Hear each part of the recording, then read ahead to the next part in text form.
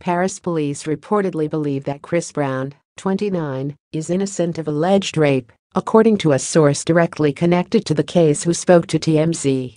The weakest part of the case is the alleged victim's statement to police, the source said. Chris was detained by police in the French capital on January 22 after a woman claimed that he and two other individuals allegedly raped her during a party at the Mandarin Oriental Hotel on January 16. Chris was released from custody and not charged. He later took to Instagram to deny the woman's claims with a post that read, The bitch is lying. The 24-year-old woman claimed, according to French magazine Closer, that Chris raped her in his hotel suite dressing room for somewhere between 25 and 30 minutes during a party.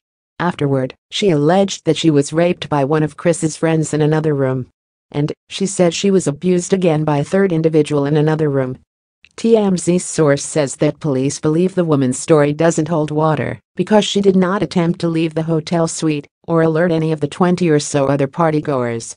Because of this, according to the source, police released Chris without charges or conditions like surrendering his passport. They even reportedly apologized to the Forever singer before releasing him from custody.